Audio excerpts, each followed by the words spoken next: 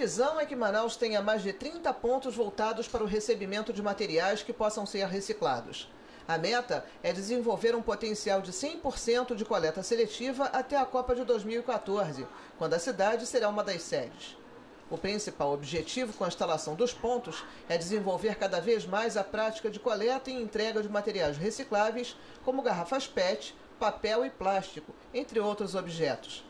A CEMUSP vai oferecer todo o apoio logístico, além de atuar juntamente com a SEMAS para a entrega de cartilhas e folders à população do entorno do Parque dos Bilhares. Bem, a Prefeitura em parceria com associações de catadores, então ela vai entrar com apoio logístico ajudando eles na parte de coleta do material, a parte de conscientização na, nas vizinhanças, né, que é, aqui residem dentro de cada posto. A média é a gente inaugurar 5 a 6 postos até dezembro.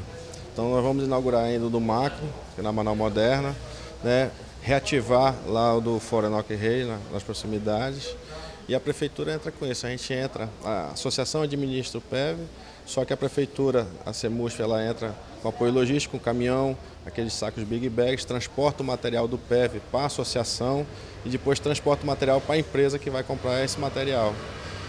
Hoje existem em Manaus quatro pontos de entrega que arrecadam em média 15 toneladas de produtos recicláveis por mês. O presidente do Tribunal de Justiça do Amazonas, desembargador João Semões, disse que Manaus tem um grande potencial para promover práticas positivas ao meio ambiente. Nós aqui hoje estamos dando demonstração que nós somos capazes de saber as nossas necessidades e priorizar as ações que são necessárias de proteção ao meio ambiente. Para o juiz da VEMACA, Adalberto Carim, com a implantação de mais pontos na cidade, é possível criar uma cultura de separação dos resíduos sólidos, facilitando o reaproveitamento e a preservação. O Ministério Público, todos nós estamos engajados nessa possibilidade eh, de fazer valer o incremento da cultura eh, da separação, da cultura do auxílio ao poder público.